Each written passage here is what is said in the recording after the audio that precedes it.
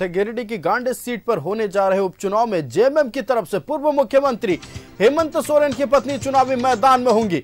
उनतीस अप्रैल को कल्पना सोरेन अपना चुनावी पर्चा दाखिल करेंगी, जिसके बाद एक जनसभा का भी आयोजन किया जाएगा, जिसकी तैयारियों को लेकर जिला जेएमएम की बैठक हुई। बैठक में राज्यसभा सांसद सरफराज अहमद भी शामिल हुए।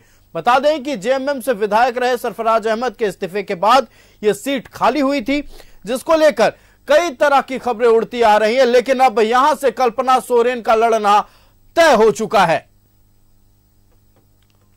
आपको बता दें कि गांडे विधानसभा उपचुनाव में, चुनावी मैदान में जेएमएम की ओर से होंगी कल्पना सोरेन। 29 अप्रैल को नामांकन करेंगी दाखिल।